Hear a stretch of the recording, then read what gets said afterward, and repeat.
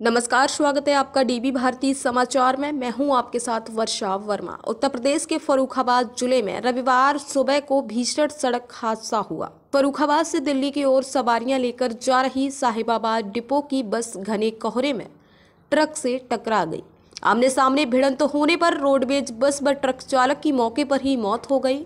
जबकि 11 यात्री घायल हो गए। घटना के बाद मौके पर चीख पुकार मच गई। घटना की जानकारी मिलते ही संबंधित थाने की पुलिस मौके पर पहुँची और घायलों को एंबुलेंस से अस्पताल भिजवाया।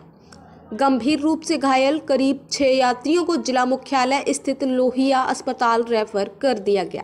डीएम व एसपी ने मौके पर पहुंचकर घायलों से जानकारी की। उन्होंने सीएमओ को घायलों का उचित उपचार करने के निर्देश दिए। जानकारी के अनुसार शाहिबाबाद डिपो की बस दिल्ली से सुबह पाँच बजे सवारियाँ लेकर आई थी।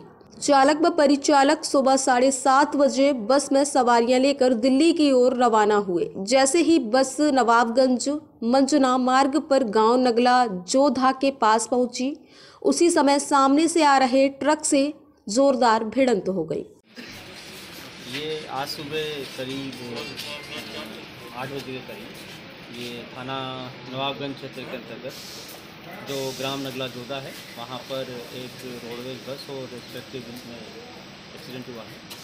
उसमें जो ड्राइवर है, ट्रक ड्राइवर है रोडवेज़ ड्राइवर हैं, मौके पर ही वो एक्सपायर कर गए हैं। इसके अलावा एक्सीडेंट हुआ है, उसके अंदर जो लोग घायल हुए थे, उन्हें तुरंत से वहाँ से नवाबगंज सी एस भेजा गया था, जहाँ से मैं यहाँ पर लोहिया, रामनगर लोहिया अस्पताल में भर्ती किया गया है। सभी आउट ऑफ़ डेंजर हैं, जो घायल हैं, उनका बेस्ट उपचार किया जा रहा है। डीएम साहब और हमारे द्वारा और हमारे अन्य जो अधिकारी बन हैं, उनके द्वारा लगातार इसे कोऑर्डिनेट करवाया जा रहा है। मौके से भी जो गार्डियन हैं, उनको हटवाया जा रहा है। उसके लिए वहाँ पर भी सारे अधिकारी लगे हुए हैं।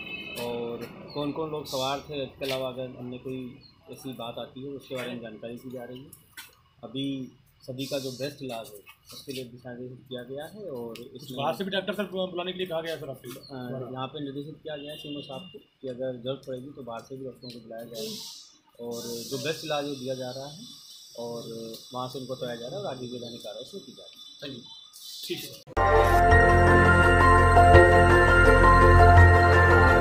देखते रहिए डीबी भारती समाचार।